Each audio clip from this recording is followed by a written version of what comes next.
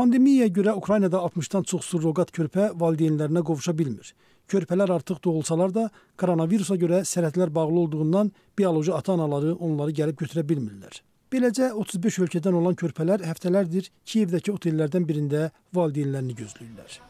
Biotex.com Ukraynada ən böyük surroqat klinikasıdır.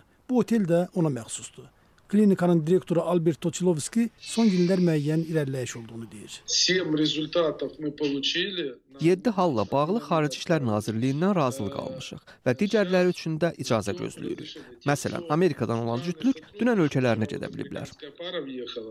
Ukrayna koronavirusa görə martdan sərhədlərini bağlayıb.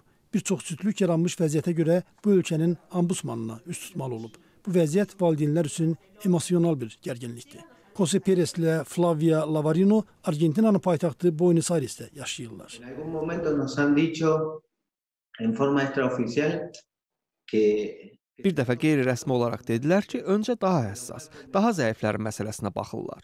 Maraqlıdır, 47 günlük körpənin taleyi həssas məsələ deyil. no, no es vulnerable. Bəzi valideynlər isə sərhədlər açıq olanda gəlib uşaqlarını götürə bilsələr də geri dönə bilmirlər. Gözləmək və israfsa davam edir. Surroqat termininə gəldikdə isə qadın öz razılığı ilə ona bioloji cəhətdən yad olan körpəyə hamilə qalır. Onu bətnində böyüdür və doğulduqdan sonra genetik valideynlərinə qaytarır. Ukraynada surroqat ana biznesi qanunidir və hər uşağa görə qadına təxminən 15-17 min dollar ödənilir. Bir sıra ölkələrdə bu biznes leqal olsa da, əksər dünya ölkəsində qadağandır.